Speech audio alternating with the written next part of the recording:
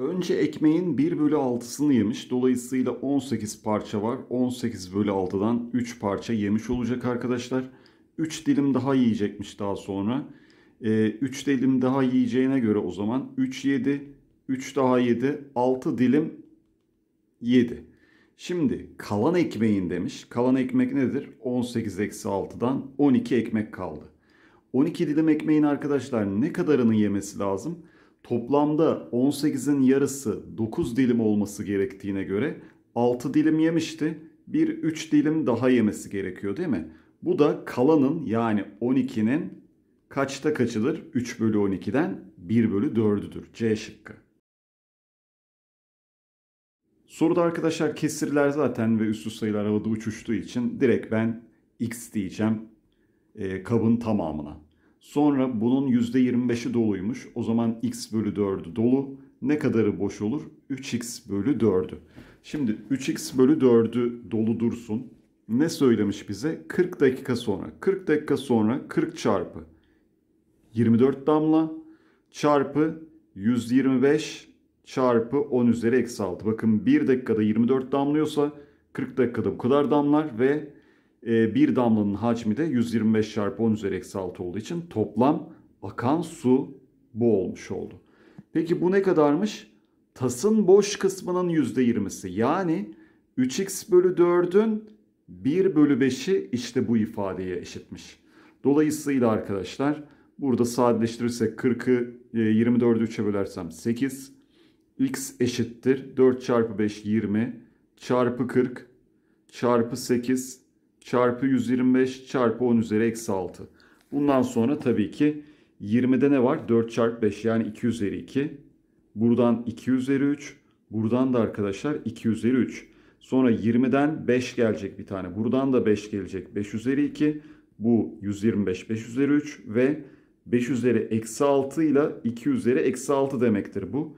2 üzeri 8, 2 üzeri eksi 6, 5 üzeri 5, 5 üzeri eksi 6. Böylece 4, 2 üzeri 2'den bakın tabanlar aynı. Üstleri topla. 5 üzeri 5, 5 üzeri eksi 6. Bu da arkadaşlar ne olacak bakın. 4, 1 bölü 5 olacak. 4 bölü 5 de neye eşit? 0.8'e. İşleme dayalı bir soru. C şıkkı. İşlemlerin ne olduğunu biz bulacağız. Yeşille yapılan işlem eksi 2 eksi 2 ne olur? Eksi 2 ile eksi 2'yi çarparsak 4 olur. Bu çarpı işlemiymiş. Sarıda eksi 3'ten 2'yi çıkarırsak eksi 5 olur. Mavide de 3 ile eksi 4'ü toplarsak eksi 1 olur. Dolayısıyla burası artı, eksi ve çarpı. İşlem önceliğinde önce çarpım vardır. Dolayısıyla 2 çarpı eksi 1'den eksi 2, 3 eksi eksi 2 ve eksi 12 artı. Bundan dolayı eksi 12 artı 5 eksi 7 oldu. C şıkkı. İki basamaklı iki sayı olacak. Çarpımları bu doğal sayılardan birinin a fazlasına eşit olacak. Böyle olunca a komşuluklu sayılar deniyormuş. Şimdi 171 komşuluklu derken o zaman bu sayılardan bir tanesine a dersem bunun 171 fazlasına olur. Çarpımları e, eşit olur. Çarpımları ne o zaman? Birine a dedim öbürüne de b diyeyim. Bakın işte bu çarpımları birinin 171 fazlası. Böylece öbür tarafa atarsam a parantezinde b eksi 1 bakın a'yı sol tarafa attım. 171 böyle asal sayı gibi duruyor ama değil arkadaşlar. 19 ile 9'un çarpımıdır. Haliyle o zaman büyük sayıya 19, küçük sayıya da arkadaşlar 10 deriz. Çünkü gerçekten buradan bakın burası da 9 olduğunda 19 çarpı 10 190 küçük e, büyük olan 19 toplamları 171 190'ı veriyor. Demek ki büyük olan sayı 19 olduğu için rakamlar toplamı 10 olacak D şıkkı. Aynı hizada arkadaşlar rakamların ne olduğunu bilmediği için neye basarsa ona basıyor. O zaman köklü işleme basıyor sonra 12 yani önce 1'e basıyor. 1'e bastığına göre sağdaki 1'e bastığındaki görüntü 3. Sonra 2'ye basıyor. Sağdakinde aynısı 6 kök 36 oldu. Bölü, bölü burada neye karşılık geliyor bakalım. Bölü burada yine bölüye karşılık geliyor. Tamam. Sonra e, kök 3 yine kök. O aynı zaten bakın kök kök. 3 burada neye karşılık geliyor? Kök 2'ye. Tamam. Parantez sonra Bakın burada artıya karşılık gelen burada çarpı ve yine kök işlemi kök işleminde de neye bakacağız? Bu 12 25 olduğu için pardon 2'ye karşılık gelen 6 sonra 5'e karşılık gelen 4 bu oldu. Olay bu. Kök 36 bölü kök 2 çarpı kök 64. Yani kök 36 bölü kök 2 kök 18 çarpı 8 arkadaşlar. 8 kök 18 bu da zaten 3 kök 2. Yani buradan 24 kök 2 buldu. İkinci kişi. Birinci kişinin cevabı nedir? Kök 12 kök 3 kök 4. Kök 4 neye eşit? 2. 2 ile kök 25'i toplarsak o da 7 oldu. Bunların birbirine oranı 7 bölü 24 kök 2. Şıklarda bu yok çünkü eşlenikle çarpılmış 7 kök 2 bölü 48 olmuş B şıkkı. Kolay bir soru arkadaşlar bu. Sadece verilerine bakacağız. Ee, ne burada ne demiş? Kendisi hariç tüm pozitif tam sayı bölenleri toplamı. 21'in pozitif bölenleri 1, 3, 7. Bir de 21 var ama kendisini almayacağız. Dolayısıyla bunların toplamı buradan 11 oldu. M12 birden büyük en küçük pozitif tam sayı böleni. Birden büyük en küçük pozitif tam sayı böleni 2. Haliyle 11 artı 2'den 13 olur. D şıkkı. Önce P'leri bir bulalım. P birincisinde 14 eksi 3'ten 11. 39 bölü 3'ten 13 ve sonra burada da 2 P eksi 2 eşittir 2 dersek 2'ye böleriz. P eksi 2 eşittir 1'den P buradan 3 oldu. Şimdi neleri yapabiliriz bundan sonra? Bunun iki katını alacağız ve 1 ekleyeceğiz. 22 bir daha 23. 2 katını alacağız 26 bir daha 27. 2 katını alacağız 1 ekleyeceğiz 7. Bakın birinci tamam. ikinci hayır. Üçüncü tamam. Asal sayı oldu 23 ve 7 bu yüzden cevap 1 3 D şıkkı. Burada arkadaşlar açıkçası şıkları göz önünde bulundurmak lazım. Sınavda da gerçekten böyle oluyor. Yani şıklar yokmuşçasına hareket edemeyiz. Bazı sorularda tam tersi onları kale alarak daha kolay yaparız soruyu. Şimdi 3 basamaklı sayıların içerisinden arkadaşlar özdeş kalanlı sayı olma olasılığının en fazla olması için yani hangi sayıyı verirsek bu durum kesinlikle gerçekleşir diyeceğiz. Şimdi bakın bir kere bunun özdeş kalanlı sayı olması için 1'e ve 2'ye bölünmesi lazım. O zaman 1'e ve 2'ye bölünen bir sayı haliyle noktalı bir sayıya da bölünmesi lazım. Aynı şekilde 4'e ve 2'ye bölündükten sonra noktaya da bölünmeli. Noktaya bölündükten sonra 7 ve 5'e de bölünmeli. Şimdi burada ben tabii ki noktayı arkadaşlar 1 seçersem bakın şimdi 112 2'ye de bölünür 1'e de bölünür. Özdeş kalanlı sayı olur. Sonra burada 1 verirsem bu 4'e de bölünüyor. 2'ye de bölünüyor. 1'e zaten bütün sayılar bölünür. 175 arkadaşlar 5'e bölünür, 1'e bölünür, 7'ye de bölünür. Bakın 1 verince kesinlikle özdeş kalanlı sayı oluyor. Ama diğerlerini verdiğimde bazılarında olacak bazılarında olmayacak. O zaman özdeş kalanlı sayı olma olasılığı düşecek. Bu yüzden cevabımız aslında çok düz bir mantıkla 1. Belli ki bu soruyu yapamadınız o yüzden izliyorsunuz. Haliyle arkadaşlar burada hani soru basit görünüyor gibi ama böyle kafanızı karıştırması normal aslında. Güzel bir soru. Şimdi e, burada aralarında kaçar kaçar birim var bilmiyoruz. Bildiğimiz şey şu. A'dan C'ye giderken dörder dörder ilerliyoruz. Bu şu demek. C ile A'nın arasındaki fark dördün katı bir sayı demek. Haliyle arkadaşlar o kenarda bir dursun. Sonra bakın B'den D'ye giderken de yine üçer üçer gidiyoruz. Veya D'den B'ye giderken üçer üçer gidiyoruz. O zaman D'nin B'den farkı da 3M olsun. Bakın şimdi D'nin B'den farkıyla D'nin B'den farkıyla C'nin A'dan farkı aynı. Bakın ikisinde de 2 birim. 2 birim. Haliyle bunların farkları aynı. Birisi 3'ün katı, birisi 4'ün katı ve bu ikisinde de 2 birime karşılık geliyor. O zaman demek ki bu birimler arasındaki mesafe 3'ün katı ve 4'ün katı olmalıymış. Haliyle 3'ün katı 4'ün katı olan sayı nedir aslında? 12'nin katıdır. O zaman A ile C'nin arası 12'nin katı bir sayıysa burası böyle 6T 6T olur. Burası da yine böyle 6T olur. Gördünüz mü? Olay bu. Bunu fark etmek gerekiyordu. Sonra arkadaşlar bir daha söylüyorum. Neden öyle oldu? 3'ün katı 4'ün katı olduğu için 12'nin katıdır.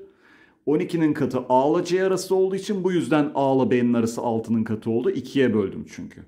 Artık e, D arkadaşlar A'dan 18T fazla. E haliyle yerine yazarsak o zaman bunların farkı 18T olur. 18T de 43 ile 19 arasında. Tabii ki burada arkadaşlar ne söyleyeceğiz bakın. 3'er 3'er gittiğimiz için 4'er 4'er gittiğimiz için 18T bir tam sayıdır. Çünkü yarım yarım gitmiyoruz ya da çeyrek çeyrek gitmiyoruz. Gerçekten dümdüz e, adım adım gidiyoruz. Haliyle burası mecburen sadece 36 olur arkadaşlar. 36 olduğu için de T2 gelir. T2 geldiği için artık bakalım. C eksi D. C eksi D nedir? Eksi 6T. Dışarıya 6T olarak çıkacak çünkü pozitif sayı. Buradan da 6 çarpı 2 oldu. Sonra arkadaşlar geldik D eksi B'ye. D eksi B neresi? D eksi B de 12T. O zaman buradan ne olacak? 12 çarpı 2'den 24. Dışarıya yine 24 olarak çıkar. 12 eksi 24'ten de eksi 12. Bu da dışarıya 12 olarak çıkar. B şıkkı. Soruda önce şunu söyleyeceğim. Bir sayının asal bölenleri arkadaşlar sadece tabanlardan oluşur. O üstler önemli değildir. Örnek 24 arkadaşlar 2 üzeri 3 çarpı 3'tür ama bunun iki tane asal böleni vardır. Bir 2 bir 3 olur. Diğer şu üstler burada etkili olmaz. O kaç tane 2 çarpanı olduğunu söylüyor bize. Ya da 25 mesela 5'in karesidir. Sadece burada bir tane asal böleni vardır. Ee, bir çeşit bir nevi yani çeşit olarak düşüneceksiniz orada. O yüzden 5 ve 5 diye asal iki tane bölen denir mi? 5 ile 5 aynı bölen zaten. Bunu göz önüne almazsanız soruda iyice hata yaparsınız arkadaşlar. Şimdi bunlardan üçünün iki tanesi doğru olacak. Ee, bu yüzden şıklardan gideceksiniz. Bakın 15 sayısı 3 ve 5. 3 ve 5'in gerçekten iki asal böleni vardır. Tamam. 21'i de tam bölünmez. Tamam şartı sağlıyor. Bunun 24 katını alırsam 3 çarpı 5 çarpı 24'ün kaç asal böleni vardır? 3 gelir. Buradan 5 gelir. 24'ten ne gelir? 2 ve 3. Zaten 3 hali hazırda var. 3 tane böleni oldu. Bak ikisi doğru bir tanesi yanlış oldu. 15 sağlar. 18'e geldiğimiz zaman 18 arkadaşlar 2 ve 3'ten oluşan bir sayıdır. 2 üzeri 1, 3 üzeri 2 olduğunu tabii ki biliyorum ama asal bölenleri 2 ve 3. O yüzden evet doğru. Birincisi sağlar. 21 ile bölünmez. Tamam ikincisi de sağlanır. Üçüncüye geldiğimiz zaman 24 katı 18'in 24 katı arkadaşlar yine 2 ve 3'lerden oluştuğu için 2 tane asal böleni olacak. O yüzden B şıkkı sağlamayacak. Aynı 15 gibi 20, 33 ve 39'da da şartlar sağlanır arkadaşlar. Cevabımız bu yüzden B olacak. Şıklardan gitmekte bir mahsuru yok. Burada bakın şıklardan gitmenin bile bir usulü adabı var. Olayı anladık, ne olduğunu gördük. Ondan sonra şıklara geçtik. Merak etmeyin zaten sınavda da gerçekten bir veya iki tane sorunun böyle şıklardan gidilmesi gerekiyor.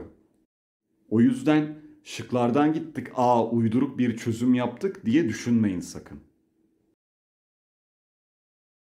Denklem biz kuracağız. Zaten denklem kurma kısmı gerçekten önemli arkadaşlar. Bakın şimdi.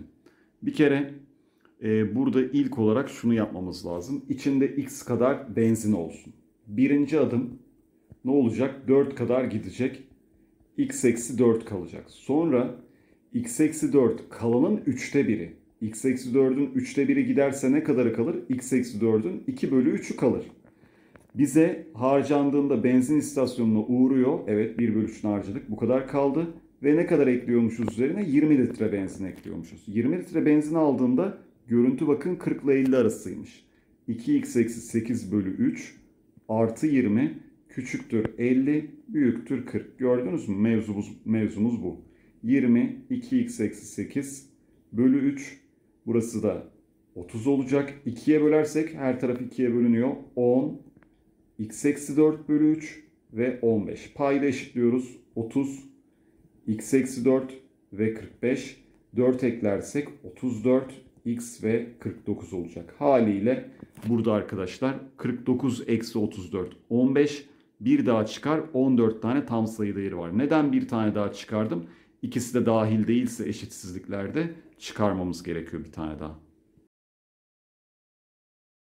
Sınavda da bunun gibi arkadaşlar kümelerden böyle bazı arkadaşlarımızı zorlayan sorular geliyor. Şimdi bunlarda e, Anlarsanız çok güzel. Anlamazsanız da böyle yapacak bir şey yokluk sorular. Neden? Ee, bir kere mevzu böyle bir paragraftan anlamanız gereken şeyler var. İkincisi bunu bir de matematiğe dökeceğiz. Üçüncüsü işin içinde kombinasyon olduğu için zaten biraz gıcıklaşıyor. Şimdi bize demiş ki arkadaşlar burada e, eski şifreden hiçbir rakamı yeni şifrede kullanamıyor. Ben özetini söyleyeyim. İkincisi şifrelerde ama rakamlar tekrarlı olabiliyor. O yüzden şöyle bir şifre olabilir yani 1, 2, 2, 3, 3 böyle bir şifre kullanma hakkın var. E, yeter ki eski şifrede kullandığın hiçbir rakamı ikinci şifrede kullanma. O zaman ben buradan şunu söylerim. Şimdi 1'i kullandık, 2'yi kullandık, 3'ü kullandık, 8'i kullandık zaten birincisinden ve ikincisinden. Kalan 4, 5, 6, 7'nin e, bir tanesi arkadaşlar buradaysa 3 tanesi burada olmalı. Bu sana şunu söylüyor. Şu 3 noktalıların kesişimi boş küme, ayrık küme bir nevi yani. Haliyle bir tanesi yukarıya giderse 3'ü aşağı gider. Buraya 3 tane gelirse bir tanesi aşağı gider. Yukarıya 2 tanesi giderse kalan 2 tanesi buraya gider. O yüzden bakın 4'ün birlisi yani bu 4 elemandan bir tanesi eski şifrede ise kalan 3 tanesi hiç e, birinci şifrede olmayacak. Direkt ikinci şifreye gidecek. Böylece kesişimleri boş gibi olacak. Eski şifreyi yeni şifrede kullanmamış olacağım. Artı ilk şifrede herhangi 3 tane rakam kullanırsam geri kalan bir tane rakamı mecburen ikinciye atacağım. Sonra son olarak 4 rakamdan 2 tanesini üste kullanırsam kalan 2 tanesini aşağıda kullanacağım. Aslında olay bu. Anlamanız gereken buydu arkadaşlar ve böylece gerçekten kesişmiyorlardı. Neden? Bir örnek göstereyim bakın. 4'ü ben diyelim buraya gönderdim. Eski şifre sadece bundan oluşuyor. Oluşabilir mi? Evet. İkinci şifreye bakıyorum bakın. 38 3 rakam attım oraya değil mi? 5 6 7 İşte size bir şifre. Gerçekten bunun herhangi bir rakamıyla bunun herhangi bir rakamı kesişiyor mu? Hayır. Birinde bir tane var, birinde 3 tane var. Rakamları tekrarlı olabilirdi. Ya da şöyle düşünün. 1 2 5 5 e, ne olsun 6. İki rakamı yukarıya gönderdim. Sonra bakın 38 e, bir de ne var orada? 4'ü kullanacağım, 7'yi kullanacağım. Bir de böyle yapayım mesela. Gördüğünüz gibi 4 ve 7'yi aşağıda, 5 ve 6'yı yukarıda kullandım. Kesişiyorlar mı? Hayır. Bu şekilde işte olay. 4, buradan da 4 geliyor, buradan da 6 geliyor. Cevap arkadaşlar 14 E şıkkı. Bir yılda Şubat ayı 28 günse arkadaşlar bu e, 4'ün katı olmayan yıllardır. 4'ün katı olan yıllarda da Şubat 29 çekiyor. Öncelikle bunu bir söylemiş olayım. Örnek 2004'te Şubat 29 çeker. O yüzden bu ikinci öncül direkt gider. Bunu coğrafyada falan bile 9. sınıfta temel olarak gördüğünüz için hani bunu mu hatırlayacağız falan demeyin. Normal bu genel kültür aynı zamanda. Ee, 27 Ocak pazar günüdür. Son gün salıdır. Bunlardan hangisi doğru ona bakacağız. Salı günlerin sayısı çarşamba günlerin sayısından fazla derken burada çok önemli bir bilgi veriyor aslında sana fark edersen. Normalde arkadaşlar 365 günden değil de 364 gün olsaydı bir yılda bu 7'ye tam bölünürdü. 7'ye tam bölündüğü için de salıyla çarşamba günleri aynı sayıda olurdu. Neden? 52 hafta olacağı için bunu böyle böldüğümüzde haliyle her bir haftada salı ve çarşamba sayısı eşittir. İşte o kalan bir gün neymiş biliyor musunuz? Salı günü. Dolayısıyla salı günü çarşamba günlerin sayısından fazlaysa evet son gün salı gündür arkadaşlar. Başlayacağız. Pazartesi e, şey pazartesi demeyeyim pardon. E, ilk başlayacağız, devam edeceğiz. Son artan bir güncük var. O artan bir gün eğer salı olmazsa salı ve çarşambalar eşit sayıda olur. Bu yüzden evet kesinlikle doğru. 365. gün salı günü ise birinci günü bulalım sonra 27. güne gelelim daha kolay arkadaşlar. Şimdi 365. gün salıysa bundan 364 gün geriye gideceğim. Neden? Birinci günü bulmak istiyorum. 364 7'ye tam bölündüğü için e, haliyle kalan 0. Kalan 0 olduğu için son gün salı olduğundan 364 gün öncesi de yine salıdır. Birinci gün salı olduğu için arkadaşlar ne yapacağız artık bundan sonra? Biz 27 Ocağa gideceğiz. Yani 1 Ocak'tayız şu an. 26 gün sonrasına gideceğiz. 26 gün sonra ne demek? 26'yı 7'ye böl demek. Kalan kaç? 5. 5 gün sonrasına git. Çarşamba, Perşembe, Cuma, cumartesi, pazar. Demek ki 27 Ocak pazarmış. Bu da doğru geldi. 1-3 D şıkkı. Biraz bu periyodikler tabii tehlikeli. Soruda mevzumuz nedir? En sonunda eşit hacimde su almışlar. Demek ki şimdi 0.5 çarpı 12'den bir tanesinde 6 e, litre su var. Diğerinde de 1.5 çarpı 6'dan 9 litre su var. 6 çarpı x eşittir 9 çarpı y'den demek ki 0.5'liklerden 3x 3k tane alıyorsa e, burada 1.5 litreliklerden de 2k tane alacak. Haliyle burada 0.5'liğin yani 12'lik paketin fiyatı neymiş? 6. Bundan dolayı ne diyeceğiz o zaman? 3k çarpı 6'dan 18k'lık bir fiyatı olur. Sonra yine arkadaşlar 2k tane alırsak paketi bunun 7 olduğu için 2 çarpı 7'den 14k olur. 18k eksi 14k ne geldi? 4k. He, demek ki bunların fiyat farkı 4'ün katı demek oldu. 4'ün katı olduğu için 1 ve 3 olur arkadaşlar. D şıkkı. İşin denklem kurma kısmı gerçekten çok önemli. Yani yeni nesil olsun, eski nesil olsun soruyu anlayacaksınız. Sonra güzel yorum yapacaksınız. Gerekliyse denklem kuracaksınız. Bu da basit görünümlü tehlikeli bir soru. Şimdi soruda 57 TL en fazla olacak fatura miktarı. Bir de birbirinden farklı tam sayılar fatura miktarları. Yani birden fazla ayda aynı miktarı ödeyemez. Örnek diyor böyle son 5 aya ait sayılar bunlarsa bunları birleştiriyormuş. Böyle görünüyormuş bakın. 12, 15, 17, 21, 53 birleştirmiş. Bu kadar kaç basamaklı olmuş? 10 basamaklı bir sayı olmuş arkadaşlar. Şimdi e, ilk 6 ayın fatura ücretlerini yan yana sıraladığında böyle bir görüntü olmuş. Burada yapacak hiçbir şey yok. Ben de direkt göstereceğim. Mevzuyu fark etmeniz lazım. Nasıl fark etmeniz gerekiyor? Gerçekten sayılarlarımızın iyi olması lazım ve deneyeceğiz. Sorun değil. Hani bir anda bulamayabilirsiniz ama vakit kaybına dönebilir soru. Burada 9 basamak var. Ama normalde bu sayılar 2 basamaklı olsaydı haliyle 2 çarpı 6'dan 12 tane arkadaşlar rakam olması lazımdı. Ama burada 9 rakam var. Demek ki bazı aylar bir haneli yani bir basamaklı fatura gelmiş. Ve bunlar birbirine bu arada eşit olmamalı. Yani siz bodoslama 36, 34, 43 böyle bölerseniz abi bakarsınız iki tane 36 geldi hocam niye böyle oldu dersiniz. O yüzden rakamların da birbiriyle aynı gelmemesi lazım. Ve buna uyan durumu göstereceğim bakın size. 36, 34, 4, 33, 6 ve 3. Şöyle yazayım bakın. 36, 34, 4, 33, 6 ve 3 gördünüz mü? 1, 2, 3, 4, 5, 6 ay oldu. Ve gerçekten hiçbir sayı birisi diğeriyle eşit değil. Böylece arkadaşlar toplam 6 ayı elde ettik. Hocam ben bunu nereden göreceğim? İşte burada arkadaşlar gerçekten düşünme becerisini arttırmanız lazım. Bu bir birikim işi. Yani şunu diyemem. İşte çok soru çözen her arkadaş bu soruyu çok hızlı yapar değil. Bu aynı zamanda birikim işi biliyorsunuz. Herkes 40'ta 40 yapamıyor sınavı. 40'ta 40 yapmak için tabii ki belli fedakarlıklarda bulunmak gerekiyor. Ya da gerçekten o an şanslı olacaksınız ki bunu pat diye böyle göreceksiniz. Sınavda çıksa ben böyle bir soru şaşırmam arkadaşlar. Çünkü sınavda da böyle bir veya iki tane süreye oynatan ama tamamen orada sizin sayılarla ilişkinizi soran sorular oluyor. Bunların toplamı 36, 34, 70, 10 daha 80, e, buradan 113, 3 daha 116 oldu C şıkkı.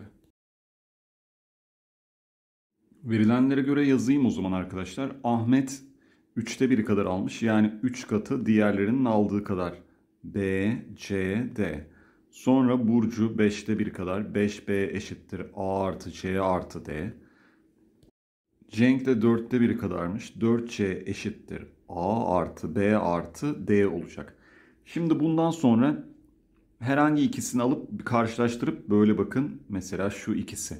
Taraf tarafa çıkartırsam 3a eksi 5b bakın şöyle göstereyim eksi eksi a eksi c eksi d olduğu için b c d'de bakın c d'ler gider 3a eksi 5b eşittir b eksi a'dan 4a eşittir 6b olur. Bu kenarda dursun. a ile b'yi bakın karşılaştırdık.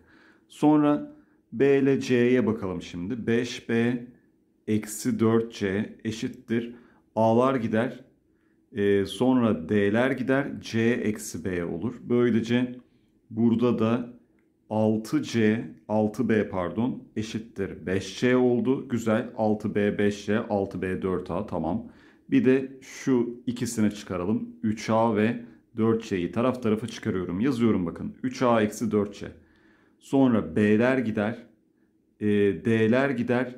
C eksi A olur. Buradan da 4A eşittir 5C gelir. Şimdi dikkat. 6B zaten 4A'ya eşitti. 6B 5C'ye de eşitti. O zaman bak bunların üçü birbirine eşit oldu. Bu üç bilgiyi birleştirdiğimizde bu geldi. 6B 4A 5C. 6, 4 ve 5'in ok eki kaçtır? 60'tır değil mi? O zaman 60'a eşit olursa tabii 60K diyelim. 60'ın katı. En az 60 olur bunların ok eki. Ee, şey katı. Bu yüzden 127 eşit olabilir çarpımları. İşte 180'e de eşit olabilir öyle gider. Burada B'nin alabileceği en küçük değer 60 olması için bu ifadenin ne olması gerekiyor arkadaşlar? 10 olması gerekiyor. Bu 15, bu 12 gördüğünüz gibi. Gerçekten hepsi 60 eşit olmuş oluyor. Yalnız B'ye 10 verirsem yerine yazdığım zaman 5B'den 50. A arkadaşlar 15 dedik. C'ye de 12 deyince ama D'ye ne kalıyor? 23. D'ye ama demiştik ki asal sayı değildir. O zaman B'ye 10 değil de 20 vereceğim. 20 çarpı 5'ten 100 olacak. A'da 2 katı olduğu için 30. C'de 2 katı olduğu için 24. Böylece bakın D çift sayı olduğu için asal sayı olmayacak. Demek ki alabileceği en küçük değer 10 değil 20'ymiş. X tane ceviz olsun arkadaşlar. X cevizi X bölü A tane paylaştırırız çocuklara. Bu çocuklardan B tanesi cevizlerini bakın B tanesinin cevizi ne yapar? X bölü A çarpı B yapar. Bu kadar cevizi diğer çocuklara eşit paylaştırıyor. Diğer çocuklar kaç kişi olacak? Toplam insan sayısı A'ydı. Bu B kişi hariç o zaman A eksi B kişi. Yani A eksi B'ye bölünüyor. Dolayısıyla son durumda çocuklar XB bölü A çarpı A eksi B kadar ceviz alıyorlar. Başlangıçta da ne kadar almışlardı? Her biri X bölü A kadar. Son durumda X bölü A kadar aldılar. XB bölü A çarpı A eksi B kadar aldılar. İlk durumdakine göre ne kadar fazlaymış? C kadar fazlaymış. İşte tam bir denklem sorusu tabii. Benden ne istiyor? Başlangıçta çocuk başına düşen ceviz sayısını. Başlangıçta çocuk başına düşen ceviz sayısı x bölü a'ydı değil mi? O zaman benim x bölü a'yı yalnız bırakmam lazım. Yani burada arkadaşlar b bölü a eksi b'yi öbür tarafa ters çevirmem gerekiyor. Bakın ne yapacağım? a eksi b'yi c ile çarpacağım. B'yi de böleceğim. Ne yaptım? Şu B bölü A eksi B'yi öbür tarafa ters çevirerek attım. Normal bir işlem. Sadece işin içinde harf olduğu için biraz daha gıcık gelmiş olabilir. Bundan sonra AC eksi BC bölü B oldu. Kişi başına düşen ceviz miktarı arkadaşlar. D şıkkı. Güzel bir soru adım adım gideyim arkadaşlar. Okuduğunuzu anlama sorusu ve orada önemli bir durum var ona bakacağız. Şimdi x artı 12 x olsun. Bunda 3'er kedi kalıyor. Bu kadar tanesinde de 4'er kedi kalıyor. Bu birinci adım. İkinci adımda diyor ki bize 24 tane kedi birer birer kulübelerden alınıp 8 yeni kulübeye dağıtılıyor. O zaman arkadaşlar 4 kedinin kaldığı kulübeden bir tane kedi çıkarırsanız o zaman 3 tane kedi kalır her bir kulübede. Kaç kulübeden alındı bu? 24 taneden. O zaman 4 kedili kulübe sayısı 24 azaldı. X eksi 24'e düştü. Ve X artı 12 başlangıçta 3 kedinin kaldığı kulübeydi. Artık bakın şöyle bir temsili olarak göstereyim bakın. 4 tane kedi vardı. Her bir kulübeden birer tane alınca o 24 tanesinden o 24 tanesi neye döndü? 3 diye. O yüzden bakın bunu 3 kedili kulübe sayısına ekledim. Artı 24 olarak bir de neye dikkat edeceğiz? Şimdi 24 kediyi aldık. 24 kedi hangi kulübelere dağıtılıyor? 8 yeni kulübeye. 24 bölü 8'den o zaman kulübe başı 3 kedi düşüyor. Demek ki bu 8 kulübe de 3 kedili kulübe oldu. Dolayısıyla son durumda 3 kedili kulübe sayısı x artı 44. 44 mi ya öyle ben şey yaptım ama evet 44. Diğeri de arkadaşlar x eksi 24. Bu x eksi 24'ün 3 katı olacak diyor bakın. Dörtlü kulübe sayısının 3 katı. Haliyle buradan x artı 44 eşittir 3x eksi 72. x arkadaşlar 58 oldu. Kedi sayısını nasıl bulurum? Giderim en başlangıçta yerine yazarım. 58 artı 12'den 70. Kulübelerde 3 kişi kalıyor 210. 58 kulübe var 4 kedi kalıyor. 58 çarpı 4'ten 232. 210 artı 232'den 442 kedi yaptı. A şıkkı biraz tehlikeli bir soru arkadaşlar. Önünde x kişi olsun arkadaşlar. Diyor ki önüne 8 kişinin önüne geçersem yani önünde x kişi varsa artık önünde x eksi 8 kişi kalır.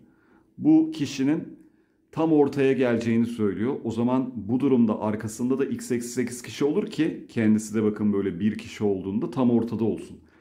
Çünkü ortada demek önünde ve arkasında eşit sayıda insan var demektir. O zaman başlangıca geri dönersek önünde x kişi vardı. Toplam önünde ve arkasında kaç insan var? 2x eksi 16. O zaman arkasına kaç kişi kalmış bu kişinin? Başlangıçta x eksi 16 insan kalmış. Gerçekten bakın toplamda yine 2x eksi 16 yapıyor ön ve arkasındaki insan sayısı. İkinci durumda diyor e, hiç kimse eklenmeden 10 kişi önüme geçerse 10 kişi önüne geçerse o zaman önüne x artı 10 kişi gelir. Kendisi zaten böyle bir kişi duruyor. Arkasında ne kadar insan kalacak? x eksi 26. Neden? Çünkü arkadaşlar 10 tane insan arkasından eksilecek ve önündeki insan sayısı arkasındaki insan sayısının 3 katı olacakmış. Buradan da x artı 10 eşittir 3x eksi 78 diyeceğiz. 88 eşittir arkadaşlar. 2x olur. x de buradan 44. Önündeki insan sayısı bu 44. O zaman kendisi 45. C şıkkı. Zor bir soru değil arkadaşlar. Üstteki hani bilgilere takılacak bir şey yok. Sadece orada fişin tarihi, adres falan var. Soruya etkili bir durum değil.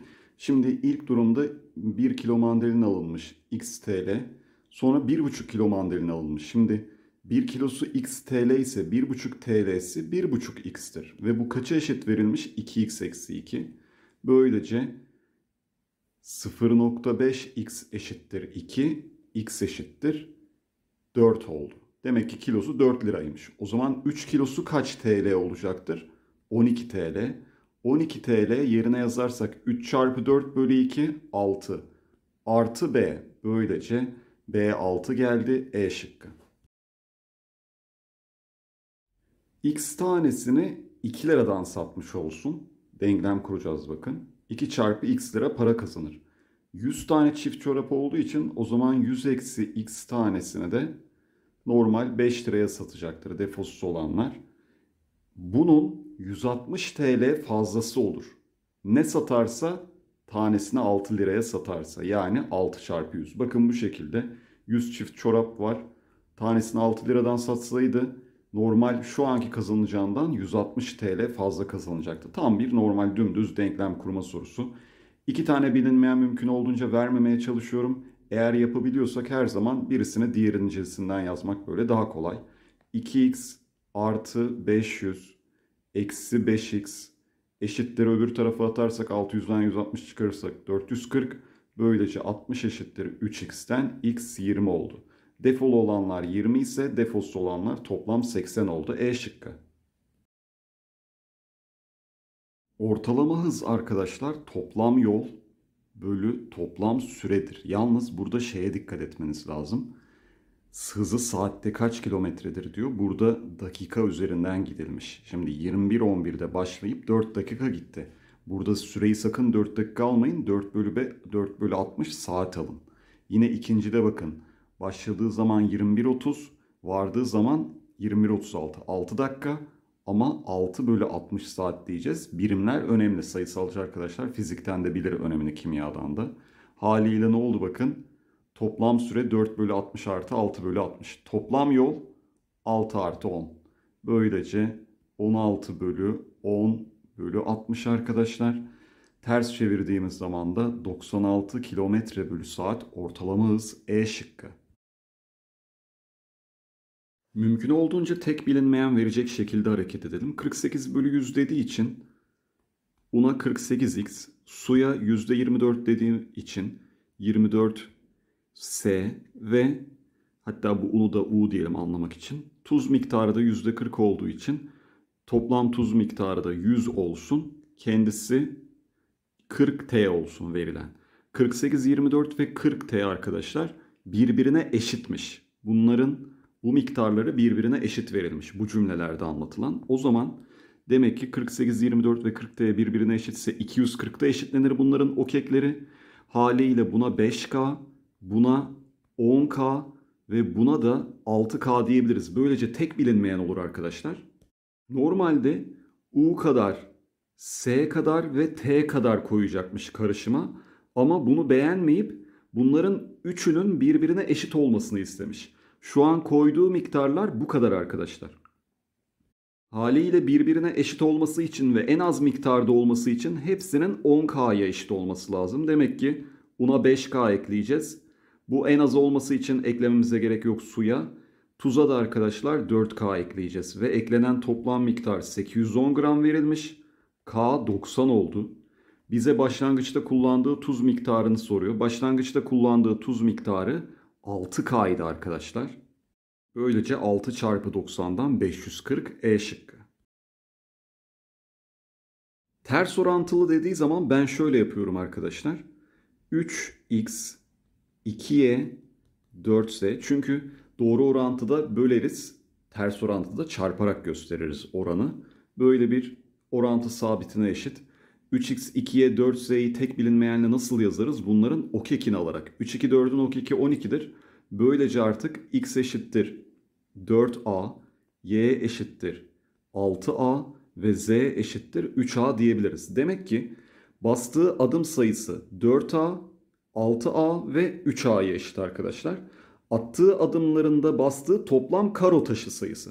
Şimdi ilkinde bir taşa basıyor sadece. O zaman burada 4a tane adım atıyordu. 4a çarpı 1'den 4a karoya basar.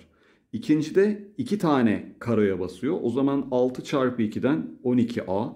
Üçüncüde de bakın 3 karoya basıyor. Dolayısıyla 3 çarpı 3'ten 9a ve toplam karo sayısı 100 olarak verilmiş. Böylece 25a eşittir 100. a 4 oldu arkadaşlar. Attığı adım sayısı da 4a, 6a ve 3'tü. Toplarsak bunları 13a yapar. 13 çarpı 4'ten 52 adım atmış B şıkkı. Harflendireyim bunları bir arkadaşlar. A, B, C ve D diyeyim. A hariç B artı C artı D'nin 3'te 1'i 68. Sonra yine B hariç yani A artı C artı D bölü 3 eşittir 64. Burada da C hariç A artı B artı D bölü 3 72 ve D hariç A artı B artı C bölü 3 eşittir 60. Şimdi bunları taraf tarafa topladığınız zaman bakın A'yı 3 kere, B'yi 3 kere, C'yi 3 kere ve D'yi 3 kere kullandık. O zaman 3 parantezinde A artı B artı C her birini 3'er defa kullandım. Bölü 3. Bir de D var tabi. Her birini 3'er kere kullandık ve bunların toplamları 68, 72 daha 140, 140, 60 daha 200, 264 oldu. Böylece bu üçler sadeleşecek. A artı B artı C artı D 264 arkadaşlar. Şimdi burada yapmamız gereken şey ne? Bize sağlık bilimlerini soruyor ya. Sağlık bilimleri neydi? B. O zaman A artı C artı D. Dikkat. A artı C artı D. Burada kaçı eşit? 192'ye eşit. Taraf tarafa çıkarırsam ACD'ler gider. Böylece B eşittir 60 192'yi çıkarırsam 72 oldu arkadaşlar. B şıkkı. Doğru orantı yapalım arkadaşlar önce. Bakın burada dikkat ettiğiniz zaman e, 4 birim 4 sıcaklık azaldığında ne kadar süre geçiyor? 1 saat. O zaman demek ki 1 saatte 4 derece azalıyor burada. İkincisinde şöyle bakın 5 burası da 1. Demek ki 1 saatte 5 derece azalıyor. Bu bize şunu getirecek. Önce kaç saatte sıfıra ulaşıyor ona bakalım. Çünkü arkadaşlar sıfırın üstündeyken gördüğünüz gibi 2 kilowatt harcanıyor. Sıfırın 0 derece altında olduğu her saatte 3 kilowatt 3 kilowatt harcıyor. 0 dereceye ne kadar da iner o zaman bakalım. 1 saatte 4 derece iniyor. 36 derece inmesi için kaç saat geçer? 9 katı yani 9 saat. Ha, o zaman bakın şimdi. 9 saat sonra bu negatife dönecek. Kaçta durduğu önemli değil. Bize kaç derecede olduğunu sormuyor. O zaman 9 saat 0 derece üstü. 10 9 saat olduğu için 15 saatte 0 derece altı. 9 saatte 9 çarpı 2'den 18 kilowatt ve yine 15 çarpı 3'ten 45 kilowatt burada harcadı. İkinciye geldiğimiz zaman hemen bakın burada yine sıfıra düşmesi için 25 1 saatte 5 düşüyorsa 25 derece düşmesi için 5 saat geçer. O zaman 5 saat 0 artıda ve 19 saatte arkadaşlar geriye kalan zamanda bu tabii ki 3 derece 3 kilowatt harcayacak. O zaman 5 çarpı 2 10 artı 19 çarpı 3 57. Bunların hepsini toplayacağız artık. 18 45 daha 63 57 daha 63 57 daha 120 yapar. 10 daha 130 E şıkkı. Burada şunu düşünmek gerekiyor arkadaşlar önce. Bakın yaş grupları şimdi yaşlar bir kişi 4 yaşında, 2 kişi 5 yaşında, 3 kişi 6 yaşında, nokta nokta nokta işte 8 kişi de böyle 11 yaşında. Şimdi bu düzen gördüğünüz gibi bu düzenin bize medyanını soruyor. Yani ortanca değerini. Toplam kaç insan var bakalım? 1, 2 daha 3, 6. Daha doğrusu 1'den 8'e kadar zaten. 1'den 8'e kadar olan sayıların toplamı nedir? N çarpı n artı 1 bölü 2'den 36 insan vardır. Çift sayıda insan varsa yani çift sayıda eleman varsa ortadaki iki değer yani 36 bölü 2'den 18, 18 ve 19. değerlerin ortası olmak zorunda. Şimdi 18. değer hangisi, 19. değer hangisi onu anlayalım. Bakın 1, 2 daha 3, 3 daha 6, 4 daha 10, 15. 15. insanda yaş 8 arkadaşlar. O zaman 15'in üzerine 6 kişi eklendiğinde bu 6 kişinin de yaşı 9 yani haliyle 18. de 9, 19. da 9. Dolayısıyla bunların toplamının yarısı yine 9 olduğu için medyan değeri D şıkkı 9 olacak. F doğrusal G birim fonksiyonmuş. H zaten verilmiş. H1 arkadaşlar kaça eşit bakın? 9'a. O zaman burası 9 olacak. Şimdi gelelim G9'a. G9 için ne söyleyeceğiz? Baktığımız zaman G9'da arkadaşlar G9 da birim fonksiyonu olduğu için 9 olacak. F'nin tersi 9. Şimdi F'nin tersi 9'u bulmak için doğrusal fonksiyon ya fark ettiniz mi? Bir fazlası, bir fazlası, bir fazlası. Demek ki fx fonksiyonu arkadaşlar x artı 1. Tersini alalım. y x'i yalnız bıraktığımız zaman x eşittir. fx eksi 1 yani e, f'in tersi x ne olacak? x gördüğümüz yere y, y gördüğümüz yere x yazıyoruz. Fonksiyonun tersi x eksi 1 geldi. Haliyle f'in tersi 9 da buradan ne olmuş oldu arkadaşlar? Ee, x eksi 1 dediğimiz için yerine yazarsak 8. Demek ki cevabımız 8'miş D şıkkı. Korktuğunun başına gelmesi için hepsini arkadaşlar kimden seçmesi lazım? Evrakları eksik kişilerden. 5 evrakı eksik insandan 3 tane seçer. Normalde tüm durumlar nedir? 12'nin üçlüsü. İşte mevzu bu. Dolayısıyla 5'in üçlüsü 10, 12'nin üçlüsü 12 çarpı 11 çarpı 10 bölü 3 faktöriyel. Yani bu da 6 olur sadeleşir. Onlar gitti. 1 bölü 22 oldu D şıkkı.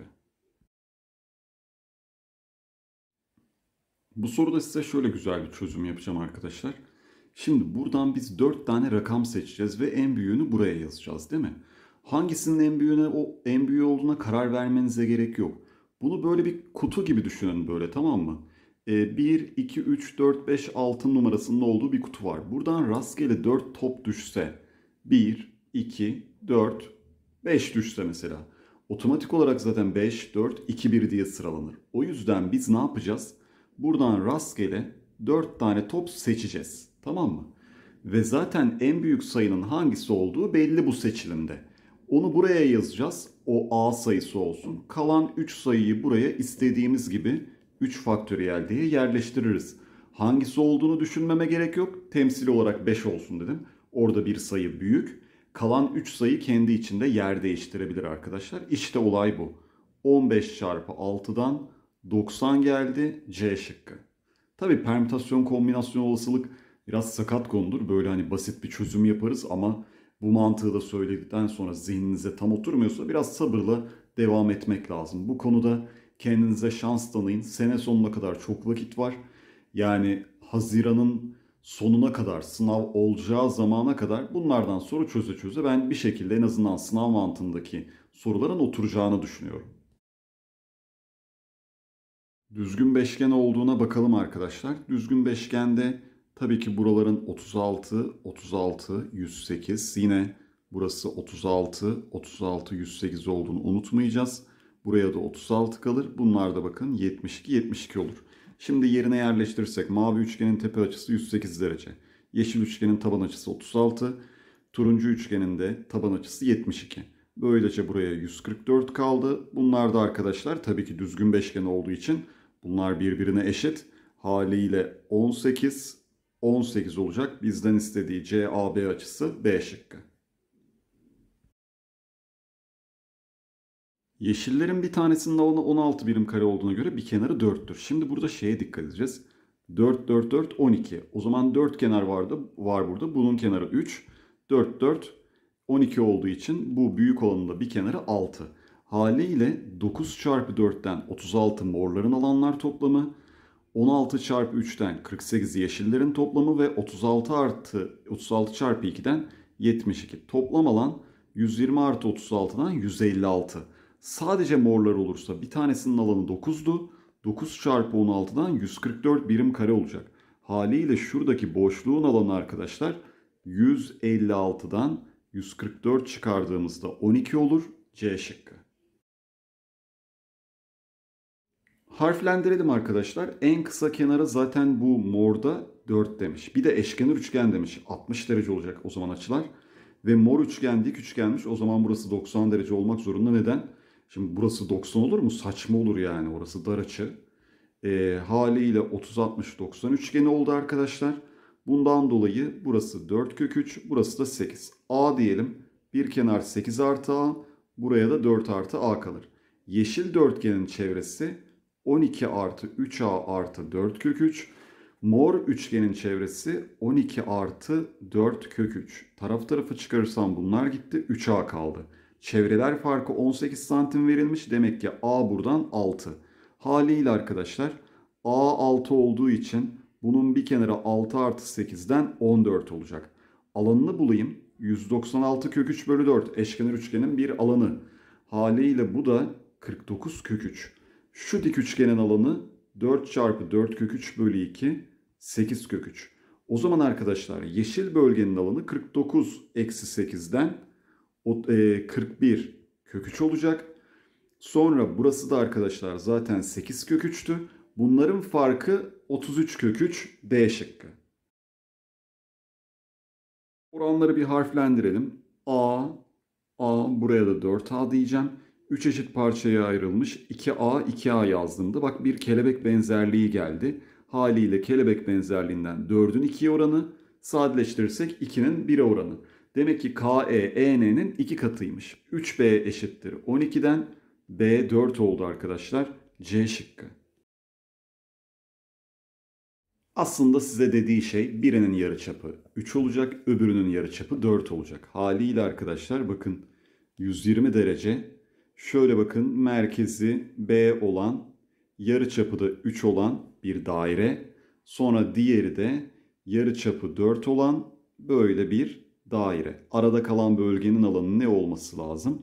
16 pi eksi 16 pi bölü 3 pardon çünkü 120 derecelik bir daire dilimi. Bakın şurası. Sonra diğeri de böyle.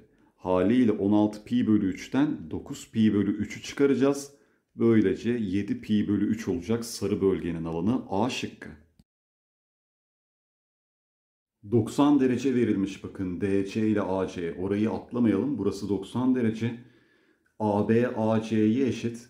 BD de DC'ye eşit. Yani bir deltoid arkadaşlar. Sonra soruda katlandığında D, D üstüne geliyor diyor. Burada önemli nokta şu.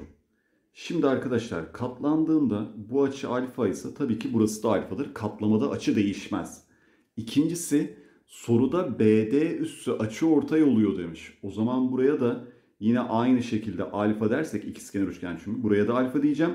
Açı ortay olduğu için BD üssü yine ABD üssü de alfa olur. Demek ki aslında buradaki B açısı da 90 derece olacak. Neden? Deltoid çünkü. Bakın bu buna eşit.